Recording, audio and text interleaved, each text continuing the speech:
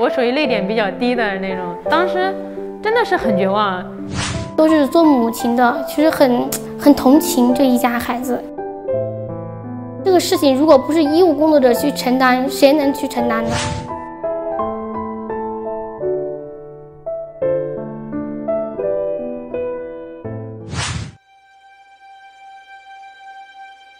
？In February 2020, as the pandemic hit, 34 year old Zhao Rui in Anqing, China, was in dire desperation.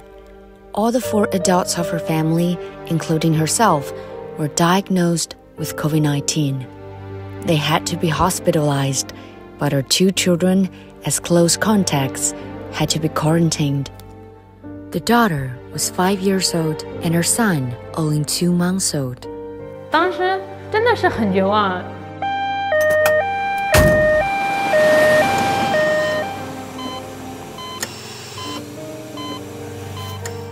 Who could look after her two children?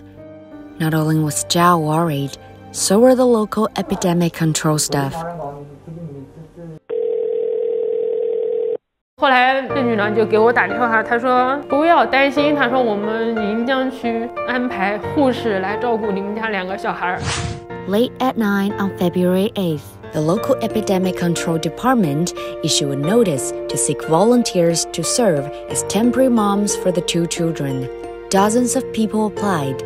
Zululu was the first among them. She said her child is two years old and she knew how to take care of babies.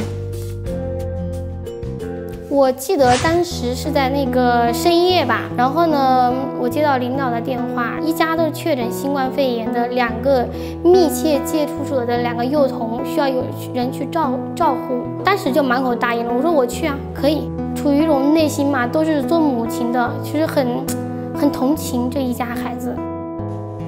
Thereafter, Zhu and other five temporary mothers rushed to the quarantine site to keep the children company. 照顾孩子最大的困难就是当时啊，整个人是穿着防护服的，然后人在这个人在一个密闭的一个环境里面，孩子小嘛，怕孩子受凉嘛，把宾馆的空调都温度打得非常高，然后那个防护服防护服一穿的话，肯定是很闷，闷的都透不过气。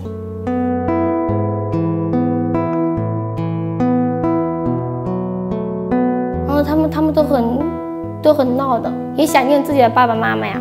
把把他抱在我们怀里摇晃着，就像摇篮一样摇晃着。Zhao, who's in a hospital five kilometers away, saw the nurses by video chat. She finally put her heart at rest. 看到走路的时候，瞬间心就安了一点，因为他说他也是有小孩子的，他说他会照顾好我们家小孩，让我放心。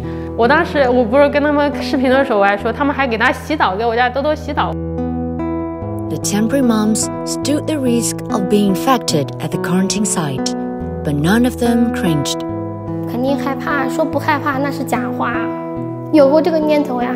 嗯，然后后来呢，医疗卫生职业嘛，就出于责任使命担当，后来嗯也是坚持下来了。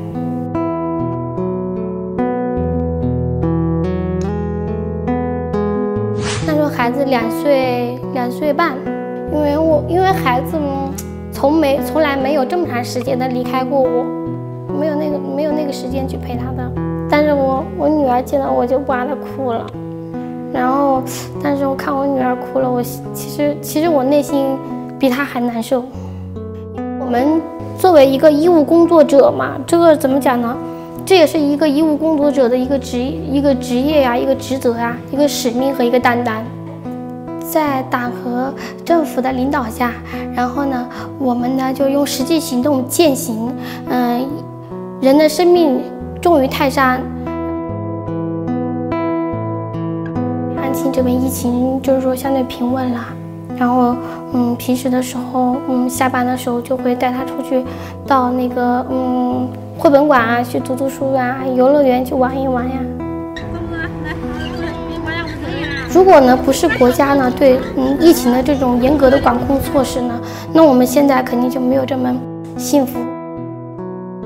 没有任何靠山的时候，这个时候国家、政府还有党出来了之后，我们就感觉真的是我们一直身后都有一座隐形的山，就是那种你不论你在哪里，他都会走来保护你的。自己亲手制作了一个杂志，等他再大一点的时候，我就可以告诉他，能够知道以后去感恩。非常的开心，两个孩子健康茁壮成长。当时说句实话，就很难遇到像以前那种就是疫情那种比较紧张的状态的这些事情。如果国家需要，我会还会挺身而出。